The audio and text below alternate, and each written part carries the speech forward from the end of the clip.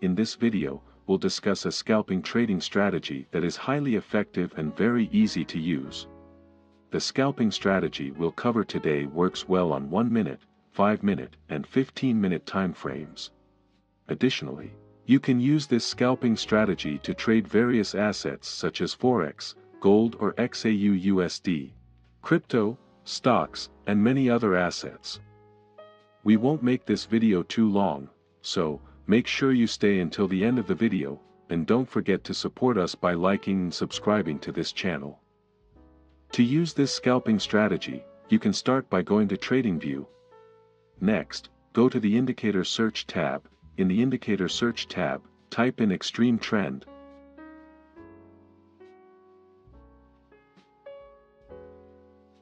Then, just select Xtreme Trend by KachraStocks.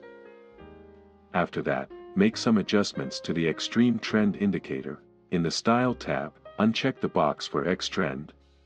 Next, change the color of the 200 EMA line to yellow. Once done, simply click OK to confirm the changes. This extreme trend indicator will be used as a trend guide and a guide for placing orders in the market. If the price candlestick is above or closes above the 200 EMA, it's a sign of a bullish trend. In this situation, your main focus should be on finding the best point to place buy orders. On the other hand, if the price candlestick is below or closes below the 200 EMA, it's a sign of a bearish trend. In this situation, your main focus should be on finding the best point to place sell orders.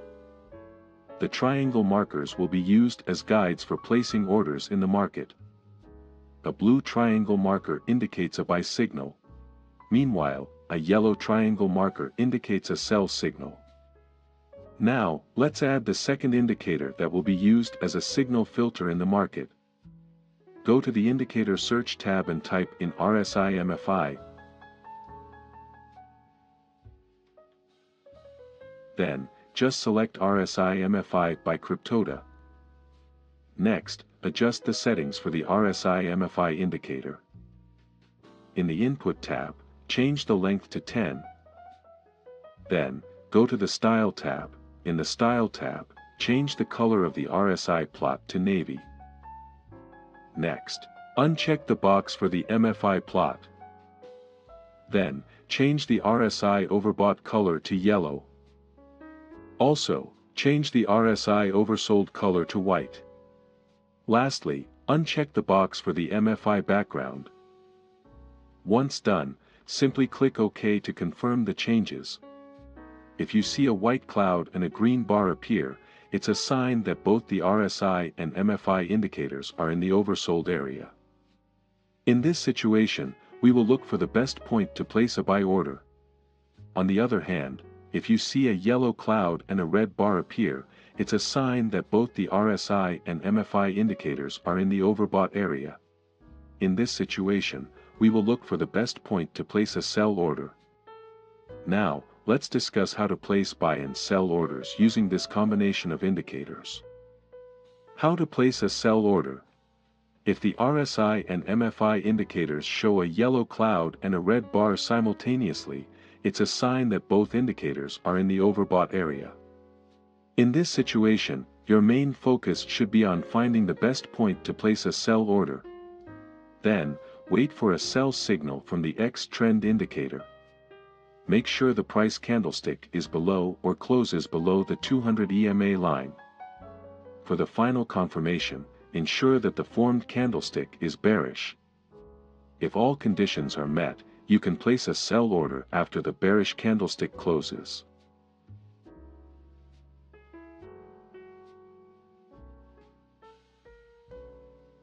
Place the stop loss at the last swing high.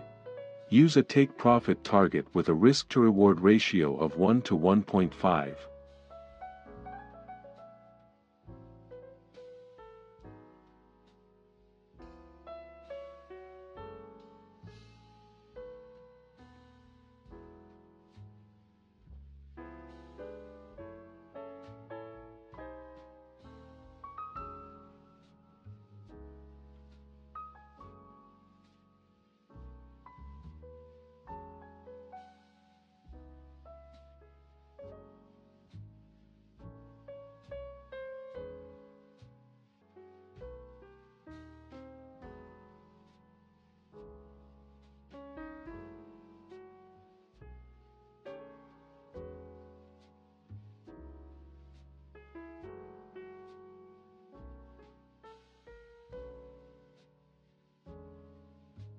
How to place a buy order.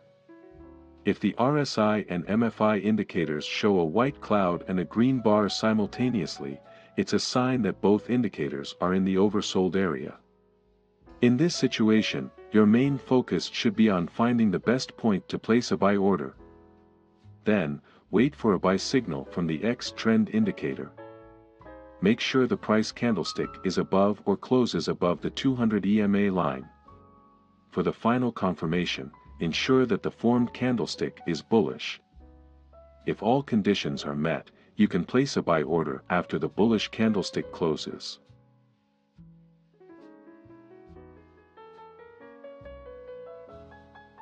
Place the stop loss at the last swing low. Use a take profit target with a risk to reward ratio of 1 to 1.5.